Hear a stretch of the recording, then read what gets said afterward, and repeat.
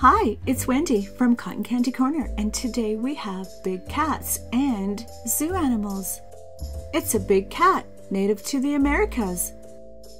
Jaguars may breed throughout the year, but most births occur in wet seasons. When a male and female jaguar come together to breed, they can couple up to 100 times in a single day. This is meant to ensure copulation success for future generations. Cheetah Cheetahs are large cats native to Africa and Iran. They are the fastest land animal. They can run up to 50 to 80 miles per hour. Subscribe to Cotton Candy Corner and turn on notifications. There are two species of hippos, the common hippo and the smaller pygmy hippo. Hippos are the third largest living land mammal after elephants and white rhinos. They have adaptations to their semi-aquatic environments, allowing them to move both on water and land. Rhinos may look prehistoric, but they do not date back millions of years. They are mammals just like us. There are two species of African rhinos, the white rhino and the black rhino. Rhinos' home ranges can sometimes overlap each other.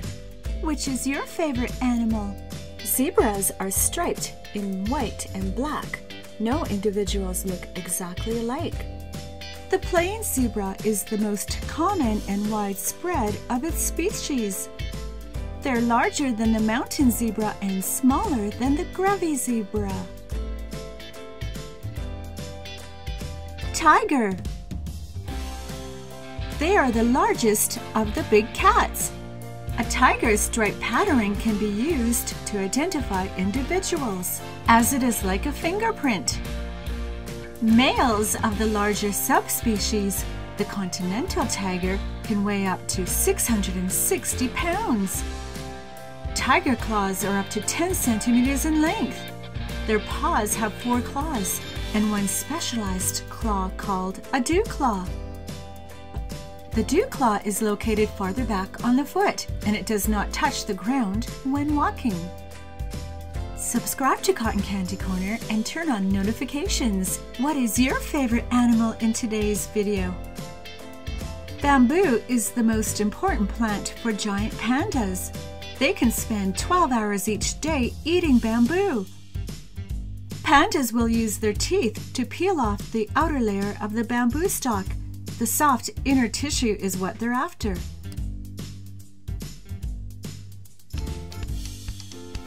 Wolf. Wolves communicate by scent marking. They'll leave their urine and feces on trees and rocks where other wolves can find it. Wolves can communicate by howling.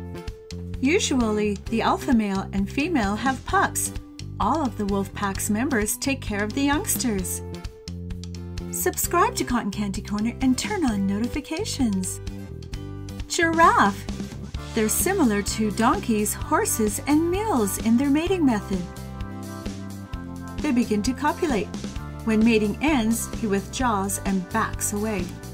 Female giraffes go into estrus when they ovulate, every two weeks all year round.